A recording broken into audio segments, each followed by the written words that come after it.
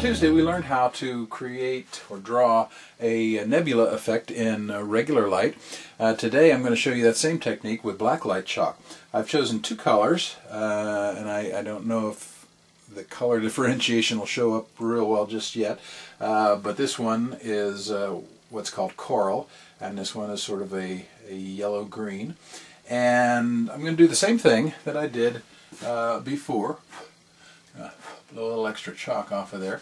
Uh, again, when you're drawing with black light chalk and trying to create that nebula effect, then first thing I'm going to do is just sort of do some do, do a little bit of blob here, for lack of a better word. That's a great artistic word, blob. So then I'm going to take my fingers and just soften these edges a bit. Feather it out. Now the nice thing with uh, doing a, a, nebula in blacklight chalk is you can, you know, you can feather that color out uh, and it just, you know, it, it, it just has the feel of, you know, being drawn uh, you know, out in space. Okay, I'm going to take my green, do another nebula down here, just another blob, a little yellowish green color. And soften that out again.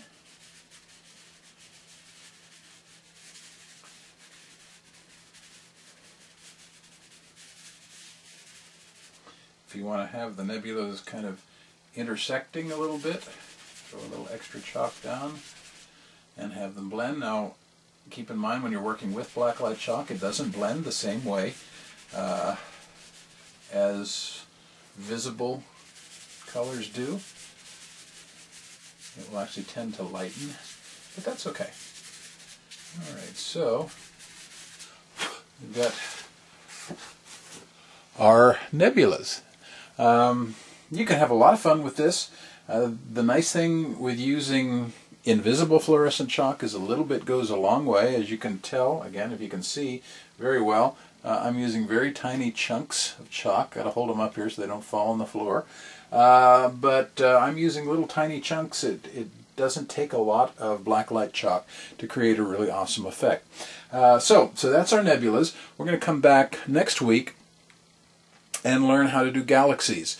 And uh, then the week after that, I'll show you planets.